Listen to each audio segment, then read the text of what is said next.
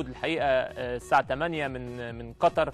بعد لقاء السامبا أو البرازيل المنتخب انهزم فيه امبارح 2-0 الحقيقة كانت مباراة جيدة بالنسبة للمنتخب المصري. المستفيد الأول منها هو باب برادلي المدير الفني لمنتخب مصر.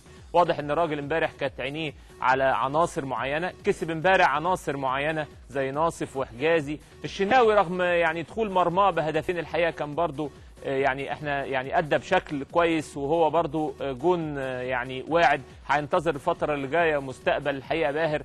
في عناصر واضح إن هي امبارح كانت خارج الخدمة أو الحقيقة ما أدتش بالشكل المطلوب واضح إن في معسكر المنتخب اللي جاي اللي هيبقى في الإمارات من 20 نوفمبر ل 17 ديسمبر هي فترة توقف الدوري. بوب برادلي الحقيقة طالب ثلاث ماتشات ودية وهيكون في كلام كبير قدامنا دلوقتي على الشاشة. عصام الحضري إحنا عارفين الحقيقة أقاويل كثيره جدا امبارح دارت على عصام الحضري والمريخ السوداني. في صلح ما فيش صلح. وفي وفي اللحظات الأخيرة بوب برادلي الحقيقة بي يعني بيغير من خطته بيحط الشناوي بديلا لعصام الحضري والحقيقة كارت برضه يحسب لبوب برادلي لأن هذه الخطوة كانت تحتاج شجاعة مدير فني لأن كان ممكن امبارح الحقيقة تبقى مشكلة بس رغم هزيمة مصر الحقيقة ولكن بوب برادلي واضح إن هو الراجل ليه رؤية واضح إن كسب عناصر معينة امبارح وبنتمنى بنتمنى كلنا الحقيقة إن عصام الحضري الفترة الجاية دي يخلص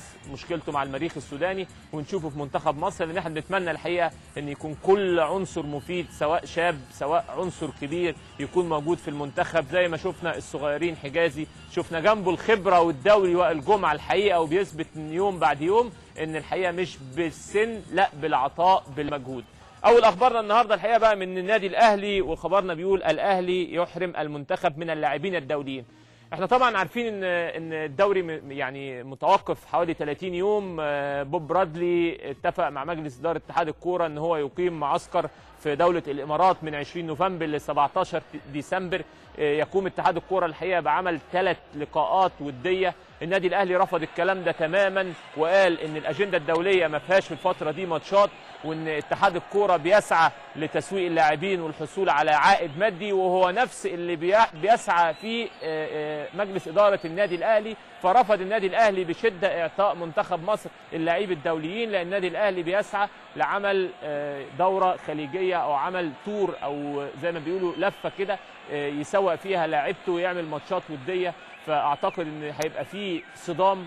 إحنا يعني تعودنا الفترة اللي فاتت عن صدامات كتير ما بين النادي الأهلي ما بين اتحاد الكوره